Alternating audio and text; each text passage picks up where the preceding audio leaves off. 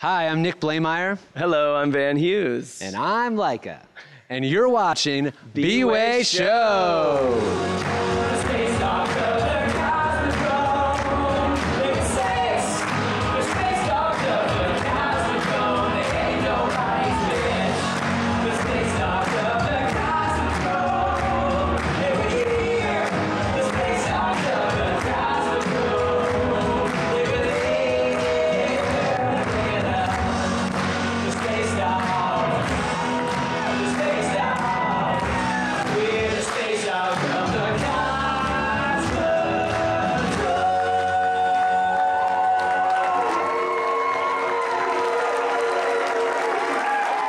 Everyone, Shoshana here with the stars of the show, all three of you. How are you feeling at Space Dog's opening night? Feeling great. Feeling great. Honored to be here. Yeah, so excited. It was an amazing show. We had so many friends out there, and the love was palpable. You could feel it. It was really fun to do. Totally. Uh, can you tell us about Laika? I mean, this is an unbelievable piece of, of art created by our props designer, Amanda Villalobos. And she taught us how to make, make her come to life, which was really difficult um, and painstaking and has been a, a total joy to, to find every night. Um, See, now she's talking. Yeah, now now she's talking and she's so thrilled to be finally open and out of previews with no more changes. Yay, open off Broadway, MCC. Um, can you tell us a little bit about what Space Dogs is? Yeah, so it is a kind of a hybrid form of theater where we jump genres of music and styles throughout. We try to keep it really fun because it's essentially a history lesson about the space race between America and Russia and the 40 dogs that were used to test the Russian rockets.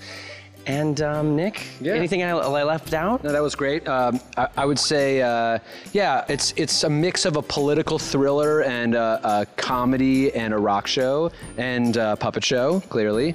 Um, yeah, and we're just having a total blast, and um, we're psyched to finally be open. Blast off. Oh, show. Rocket jokes. you know. Um, I love, so when you first walk in, you see all these adorable dogs.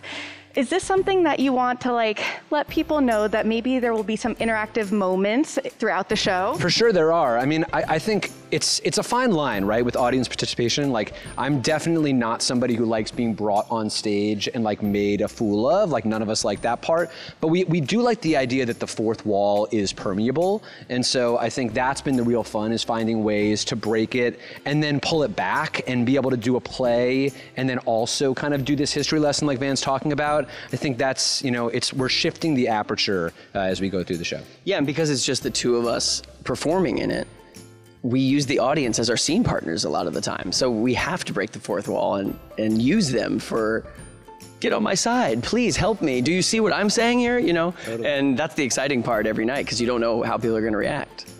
This is such a unique piece of theater. Is there anything you want to say directly to your fans? Thank you. Honestly, our uh, the reactions have been so heartening because it's so scary to build a, a new piece of theater, especially in New York City.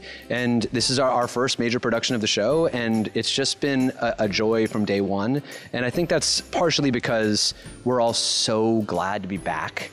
Um, and it just feels like this is a show that is embracing the, the joy of making something from nothing. Um, and so we're just honored to be getting to do it at MCC. Absolutely, yes. Thank you. We love you. I love the tweets that I see. It it really buoys me. and um, yeah, like what Nick said, we're trying to make something new. So the fact that you're into it, it's a, it's like a, a box that is being checked. We were like, yes, I knew somebody else out there wanted what I wanted. Totally, totally true. And the cast album is out on Ghostlight Records, so definitely check that out. Thank you both so much. Happy opening and see you at the show. Thank you.